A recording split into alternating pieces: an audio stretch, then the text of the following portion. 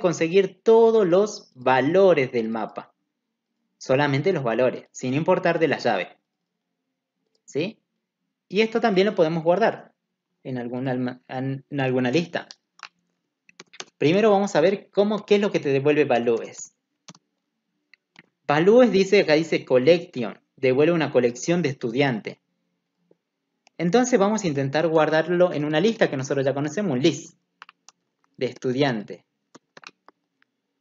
Y acá se llame, no sé, eh, values, sí, values, lo vamos a poner así.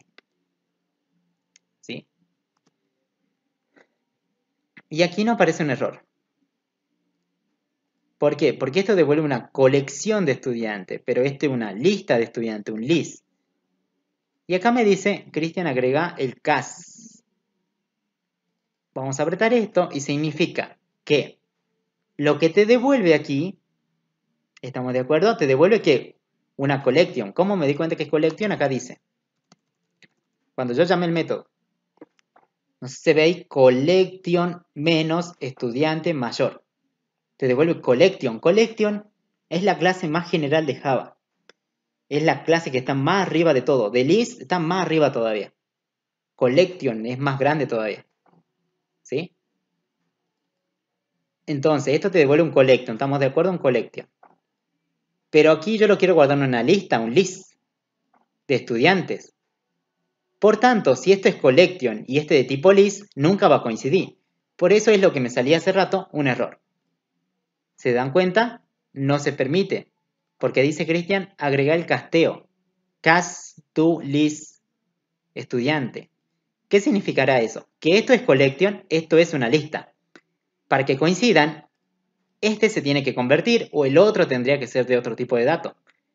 Nosotros a esto lo vamos a convertir y eso en lo que en Java se dice casteo. Dentro de los paréntesis vamos a poner al tipo de dato que vamos a convertir esta lista. Como esto es collection, aquí adentro yo voy a decir que eso se transforme a, bueno, vamos a borrar aquí, así, a un list estudiante, que sería el mismo tipo de esta lista. List estudiante. Che, transformate de collection a un tipo list que almacene estudiante. De esta forma ya no estaría el error ya no estaría. Y aquí podríamos mostrar values tranquilamente. ¿Sí? Bueno, casteo puede dar una excepción. Déjame decir que sí. En la línea 25. ¿Sí?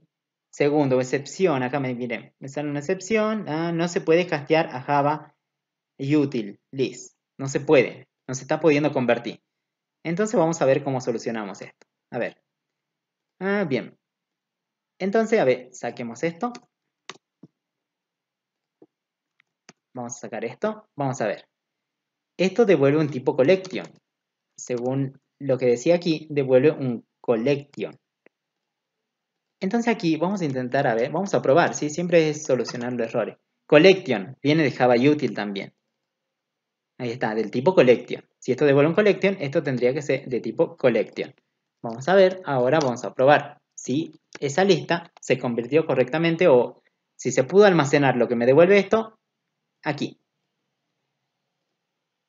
Y ahí está, si se pudo guardar.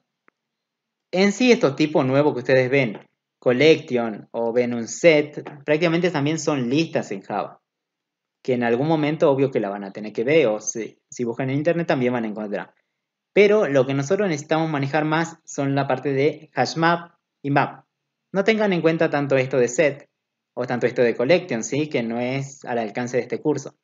¿sí? No vamos a ver tanto set ni collection.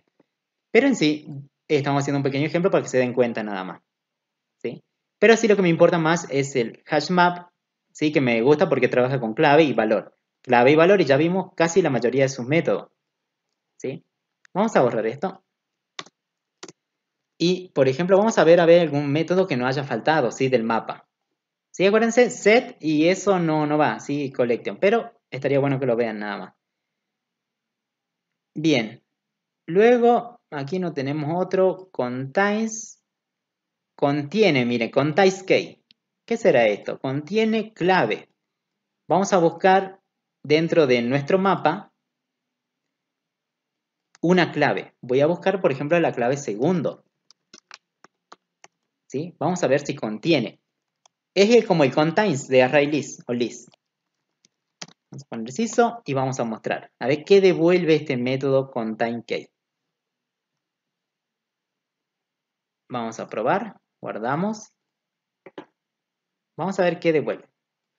True. Contain significa contiene.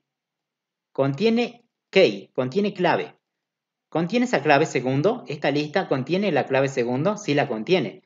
Por tanto, el resultado es true. Ahora si mando a buscar si contiene a tr, la clave tr, obvio que devuelve un false. False. Es lo mismo parecido al de lista, list o array list. ¿Sí? Vamos a probar otra vez. A haber otro método que, que encontremos aquí. Fíjate que contain values contiene un valor. Vamos a buscar dentro de nuestro mapa que tiene clave, valor, clave, valor, clave, valor. Un valor. Vamos a buscar a E2, por ejemplo. Entonces acá pongo el objeto E2. Mándalo a buscar. ¿Sí? Es un valor. Pero obvio que no va a mostrar nada. Lo vamos a poner dentro de un CISO para ver el resultado.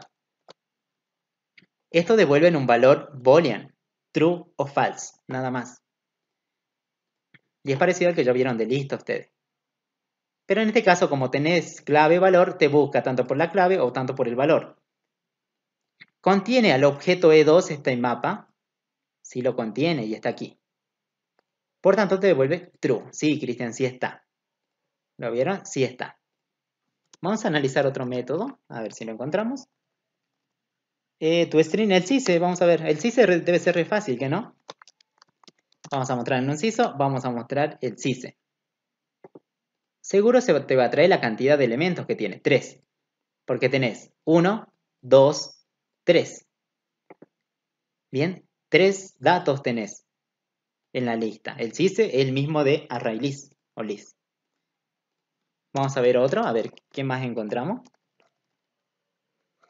Tu stream, value, reemplace, ya lo vimos reemplace. ¿Sí? Reemplazar hay un valor viejo por un valor nuevo. ¿Sí? Un put. No, después ya no hay nada más. Notify, no. El set también ya estaba visto. ¿sí? Mm, el assembly también lo mismo. Ya vimos casi todo. ¿sí? No hay más que esto. No tiene tanto. ¿sí? Pero en sí, más o menos eso es lo que me importa que sepan. Cómo recorren la lista, el entry, get value, get key, cómo consiguen también un elemento por la clave, que lo habíamos visto, el reemplace, el remove. Después quema el get, el get que lo usamos, el get por clave o el get que te devolvió un valor por defecto, en caso que no encuentre la clave. Sí, eso estaría bueno, digamos, que sepa. Si se dan cuenta, lo que tiene esto es la capacidad de guardar tanto el objeto como una clave asociada a ese objeto, en cada una de sus posiciones. ¿Estamos de acuerdo? Y así vos podés guardar dos cosas y podés buscar por la que vos quieras, tanto por la clave o tanto por el objeto guardado con esa clave. ¿Sí? Acuérdate, ya hicimos el get y este capaz que lo usen mucho, get. Y lo podés guardar, el get te devuelve solamente el valor, ya lo habíamos probado o no. Si vos buscas esa clave, te va a devolver el valor asociado a esa clave. O sea, te estaría devolviendo esto, por ejemplo, esto de negro, esto.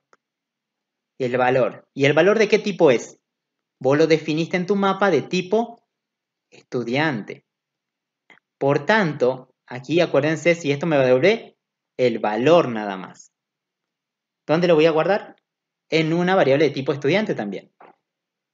Si el valor fuera entero, Aquí hubiéramos puesto integer. Imagínense que hubiéramos puesto integer. Bien, cuando llamaba al get, aquí por ejemplo, vamos a cortar esto ya que lo tenemos. Cuando ustedes iban a llamar al get,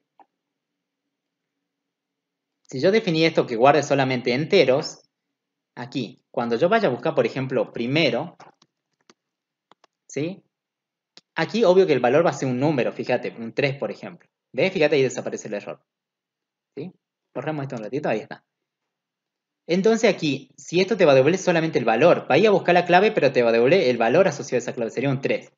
Ese 3 lo puedo guardar en una variable, pero la variable tiene que ser del mismo tipo que vos definiste acá arriba, en el mapa. Clave, valor. El mapa seguía de acuerdo a como vos pusiste aquí. Pusiste que las claves van a ser de tipo string y pusiste que los valores van a ser de tipo integer. ¿Estamos bien? Y con el get, si conseguís el valor, el valor lo puedes guardar en una variable de tipo integer. ¿Sí? Bueno, lo dejemos como objeto nada más, ¿sí? Está más bueno guardar objeto. Ahí está. Porque acuérdate, los objetos tienen más cosas ahí adentro. Bien, lo que tienen que tener en cuenta en esto es que estos mapas son potentes porque tienen varias cosas. O sea, pueden guardar un clave, valor. Pero en este caso, bueno, estoy guardando un estudiante. ¿Vos podés guardar un número? Sí, podés guardar un número. Que cada número tenga una clave. También. O podés guardar, no sé, eh, caracteres. Podés poner char o character, creo que se pone aquí. Character. ¿Sí? Caracteres. También podrías guardar hasta otra lista acá adentro. Yo, una, yo la otra vez estaba haciendo y guardé una lista. Bien, una lista de objetos.